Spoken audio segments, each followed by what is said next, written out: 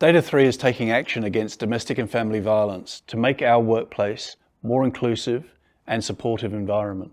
We are therefore proud to launch our new domestic and family violence policy, which we believe will help us better support our staff in these terrible situations. Our new policy is available to all Data#3 employees, including those engaged as full-time, part-time, casual or limited term contract. As part of the policy, employees have access to 10 days of paid leave with the provision of more time off if necessary. Data#3 is here to support employees who may be experiencing domestic and family violence. So please reach out if you require support. Thank you.